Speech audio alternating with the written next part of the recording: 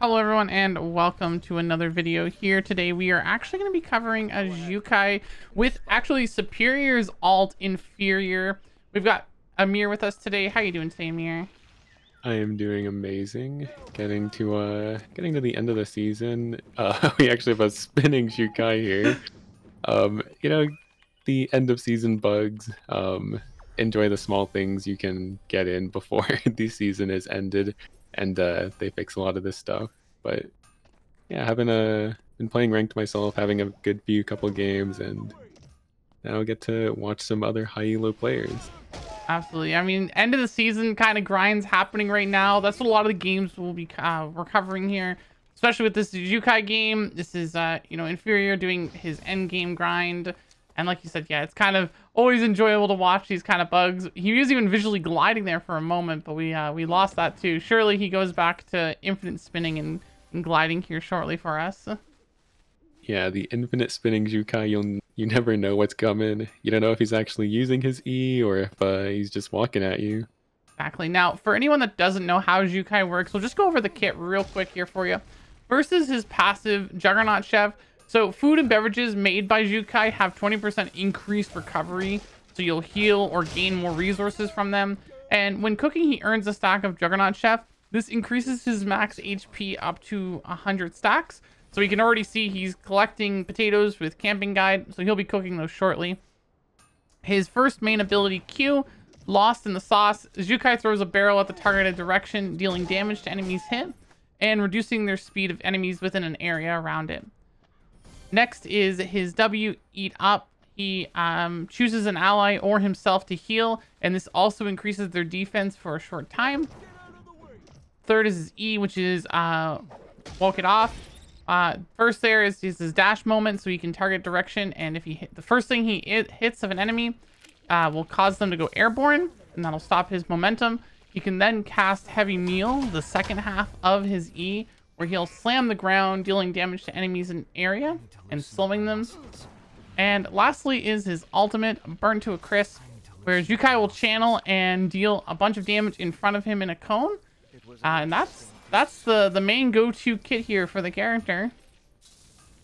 Yeah, Xiukai is not a very complex character, but when played right, I think he's one of the most effective frontliners because he's got a decent amount of damage um, with his E, with both parts of his E actually dealing a lot. Uh, his alt is really annoying to play against as you're being slowed and taking damage. And then overall, he's just an annoying character to fight because you can't really block all of his CC as a decent amount of it is just slows. Um, and then he's also healing more than you are because his food is doing more.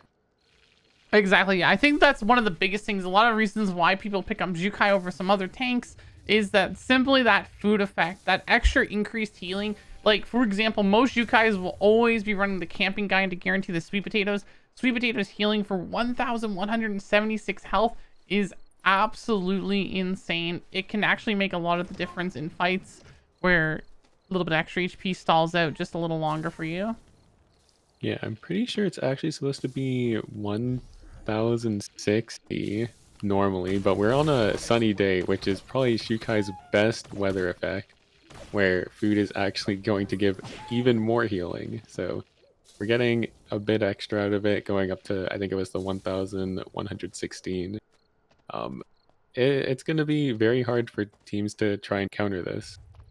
Well, exactly. Plus, uh, just to talk about this, so not not only does this team have the food buff, they have the sunny day, which increasing the food buff even more. They then have Xiukai having his own healing. Then they also have Theo for healing. This team comp, unless you can burst and instant kill someone, they're going to be almost impossible to beat. It's like poke comps are going to be completely, uh, I don't want to say useless, but it's going to be futile trying to get through this team on neutral. Yeah, you're going to have someone poke over to our Xiukai and then going to press W on himself. Maybe a bit more poke comes through. Theodore is going to be throwing his Qs over and then you know, if they have any extra poke after that, we're just going to see our Xiukai eat up some of that food and go right back up to full HP. No, exactly. And I think the uh, most important thing to kind of consider here when you're looking at a character like Xiukai, especially in this type of comp specifically, you really want to make sure that you're not diving too deep. You've got a Theo and you've got a Sissela. So we're going to be playing really front to back, hiding behind or staying in front of that shield of Theo's, making sure you just never die, and probably just holding on to our E until we have to like cancel and engage from an enemy. Yeah, there's no reason to actually throw out this E if we don't have to, because the scariest thing about playing Xiukai is if you miss E and you keep going forward, then uh, then you might be completely out of position. You'll be thrown too far forward, and then you won't be able to walk back to your team. Unlike a few other tanks, you don't have a really easy way to get damage uh, damage reduction, um, as other tanks have a button they press, and then they start taking 80%, 60% reduced damage. Xiukai can only press W on himself to give him a bit more defense, give him that heal. So you do have to be a bit more wary of where you are positioning. You're not as beefy as other people. No, exactly. Yeah, it's uh, it's definitely probably one of the hardest things to fully grasp with Xiukai, just where he's he's more of like a pseudo tank, especially when you like compare him to the characters like Alonso, Lenox, Mai that are just so much more tankier and have a kit that lets them just be that extra level of tanky.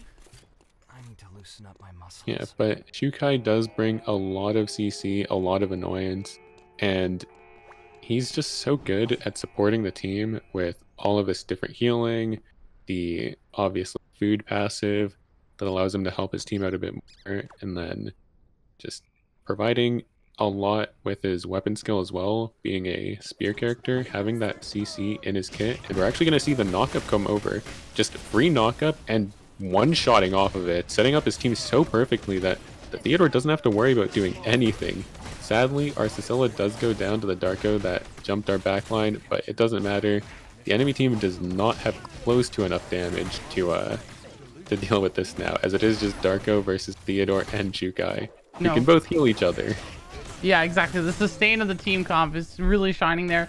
I mean, definitely great usage there. Had the corner, hide behind the wall. They had the Sissela for, for the vision and be able to pull in through the wall.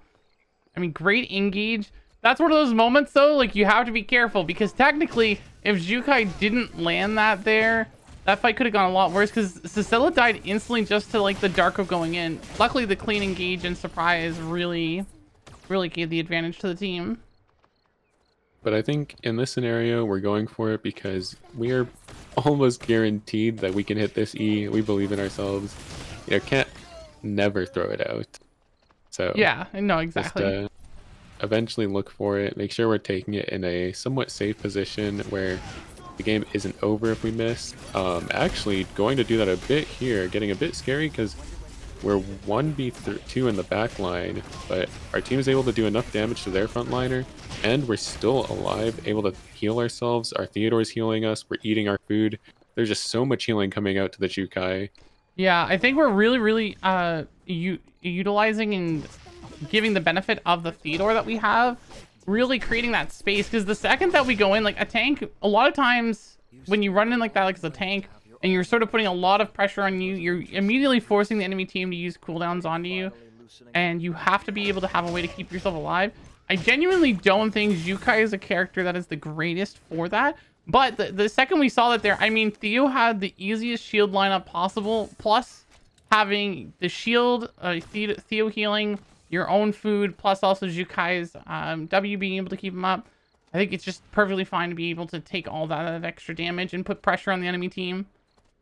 Yeah, realistically, a lot of teams are going to have to do two Xiukai health bars if they want to start trying to kill him.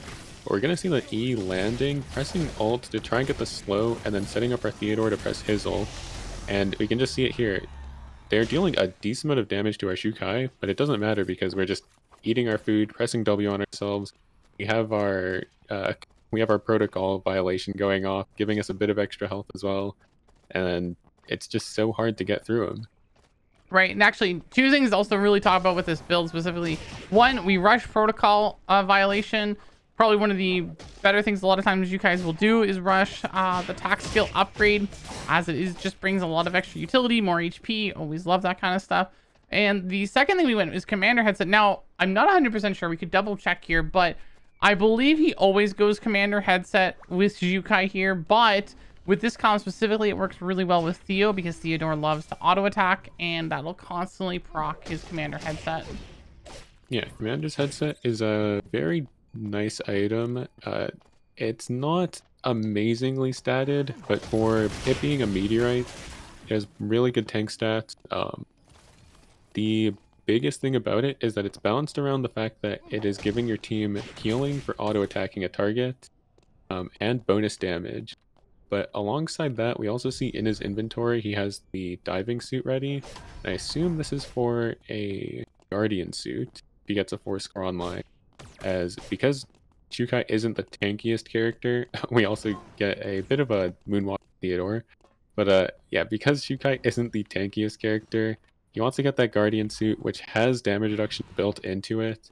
Gives him a bit more beefiness jumping into a fight. Makes him play, allow him to misplay a bit more often with all of that extra health and all that defense. Um, because Xiukai is a very committal character if you ever press this E into a fight. No, exactly. Yeah, and yeah, definitely is a Guardian Suit angle for sure.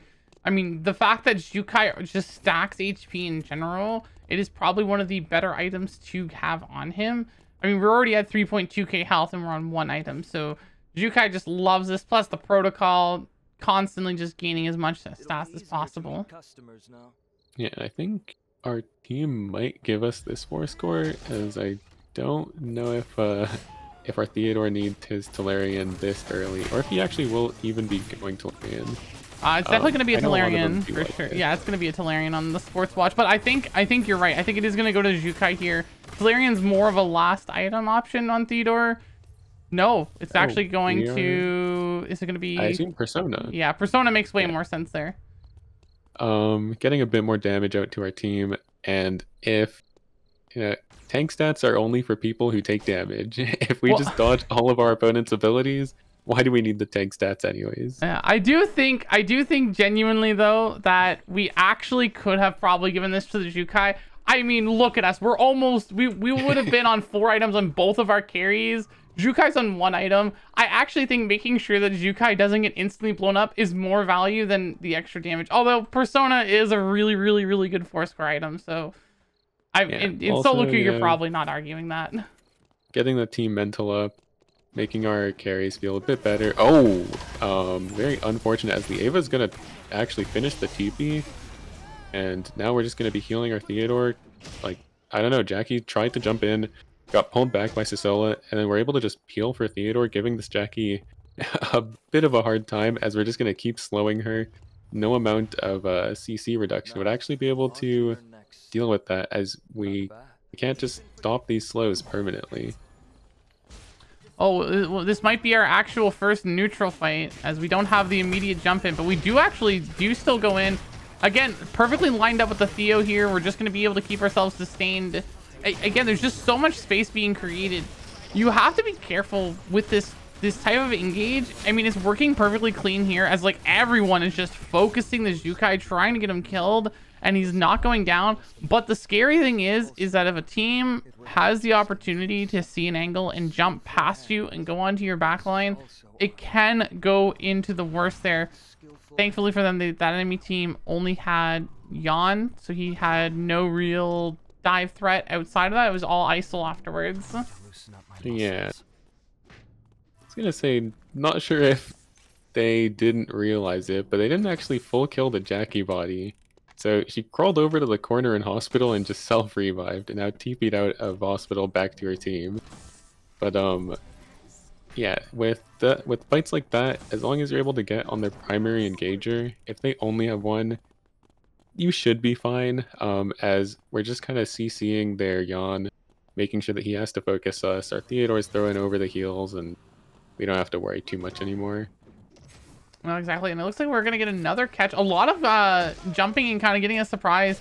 It's interesting to say because, like, you know, we, we, we looked at this Xiukai, we looked at this comp. You know, we thought we would expect a lot more neutral gameplay, a lot more utilizing that self-sustain.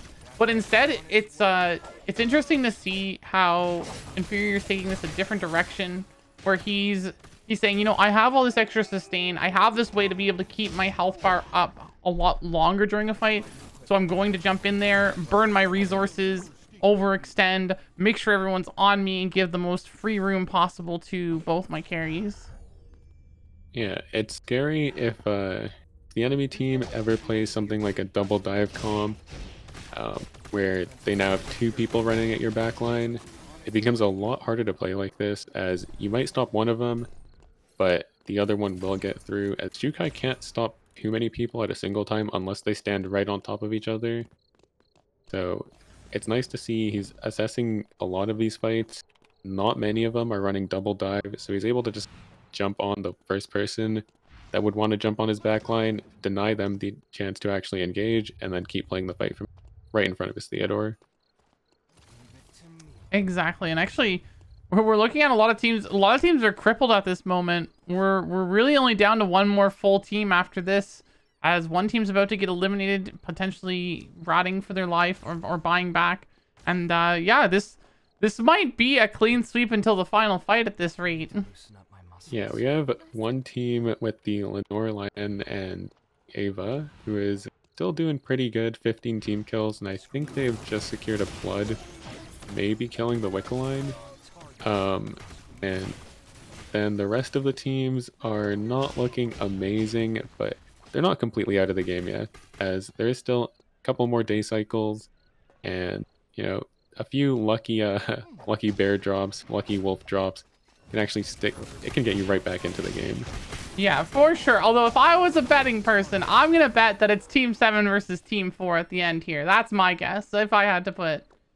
Yeah, I, I'd put my bets on Team 8. I believe in them. you have, you have faith in Team 8. yep. Actually, look at look at all these teams. we, have, we have like every team in Uptown right now. It's gonna be a bloodbath if uh, teams don't start scurrying out. We actually do do have it right now.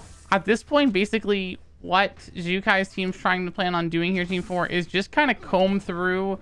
They they know they're in a strong position. They're just looking for teams. They're going from vision to vision, playing it slow and safe. Just haven't really hit anyone yet. I think they saw team uh the Luke team here start walking away. Team two. Yeah. Pretty sure they saw them and now are going to be looking to collapse on them as they know that the vision was taken. They take it right back and I don't know which one they want to fight because I think they see both teams coming from both sides right now. So it's just which one are we going to take first? Yeah, so okay, I think okay, I can I can help explain the thought process of what happened here. They saw the one team, then they saw the other team started to go for it. Then they saw this team, the Abigail team, third part fighting the Luke team. So we went in for that fight. And then they then they just kind of sat there and waited because they, they didn't want to get a third party themselves. Yeah, sadly Team 8 actually will be getting fought here and falling on the floor because our Xiukai is just able to find such good ease into the enemies. People aren't really ready for him to just walk up, press E, and they're all a lot of them are connecting. But it looks like on the other side there were a couple people fighting. Um, I think we did notice it as we still had a decent amount of vision. And it's going to play the fight slow. Don't need to keep committing because we'd rather take two kills and let the one person get away than end up wiping and losing the game right there. No, for sure. And I kind of yapped over that last fight, but if I recall correctly, I believe again, uh, Xiukai took over the fight, controlling the threat of two targets, and then his two DPS just soloed the demo. I believe, or force the demo away, because I think the demo was just trying to 1v2. Well, the Xiukai put all the threat onto Abigail and to the Bernice. Yeah. What's happening in a lot of these fights is exactly that, where we find the Xiukai jumps forward, two people are focusing him, and then our two backliners are able to kind of just do their own thing, play their game, and we're positioning around our Theodore and not forcing our Theodore to position around us is very nice because it means that our Theodore can play his game and while it is a bit harder for us to do things, we just have to start maneuvering around him instead of trying to force our carry to uh to play our game.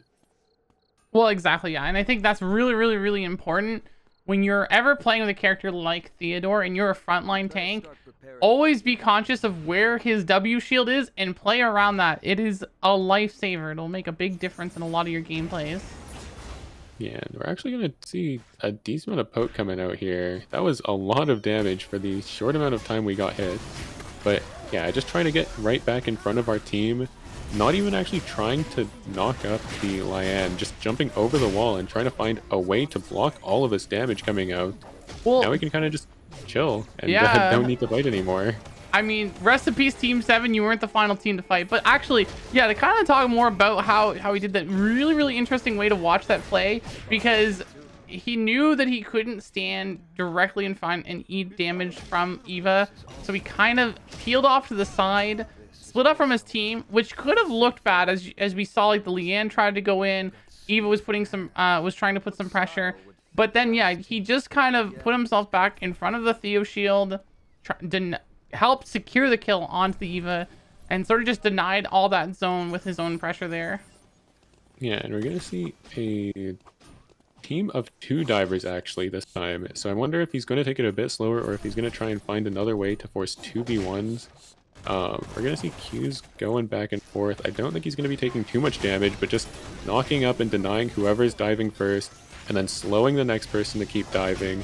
We're just trying to cycle these divers out, and I assume, yeah, we're going to look for another knockup around our Theodore, making sure we're playing around the person that, in reality, will win us this fight. Sadly, if our Sissela goes down, it won't be too much of a difference compared to our Theodore. Yeah. I am happy though we did get to see both playstyles of the Xiukai because that was a perfect example of what we were talking about. The normal way that we were expecting Xiukai to be played against that double dive. He waited, they forced that engage, he counter engaged, kept the team safe, created a bunch of space. And that's really, really how you want to look to climb on Xiukai. I hope you guys enjoyed the video and we'll see you in the next one.